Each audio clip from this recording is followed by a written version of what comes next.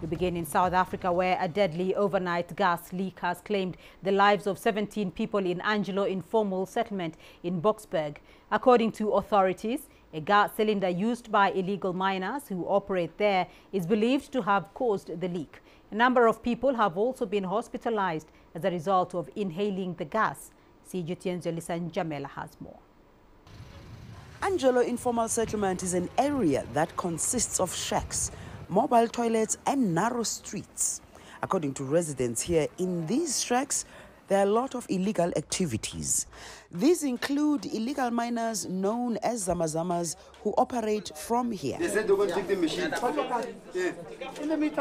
In this tragic accident, the suspected gas leak killed 17 people, including three children.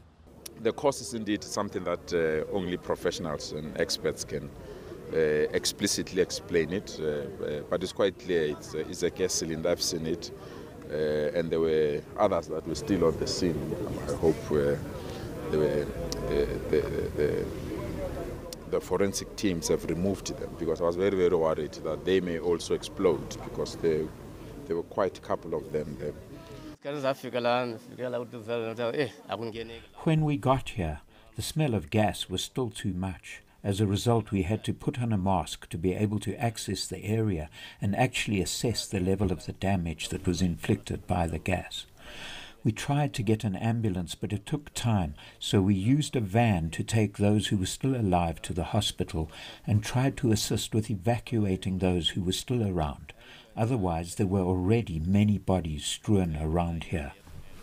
This incident has been linked to illegal gold mining in this area.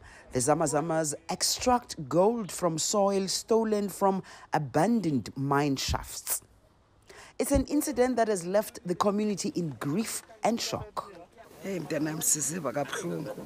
What happened here is so painful. We literally lost our neighbors here. I don't know how we survived because this happened here, very close to us. It's so sad. This is so sad, you know. After hearing about this, none of us slept. This place is just not good for all of us. Tomorrow, it might just be us.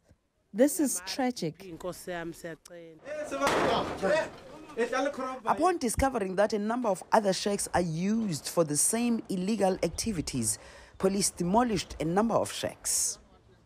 Investigations to determine the actual cause of the tragic accident are underway.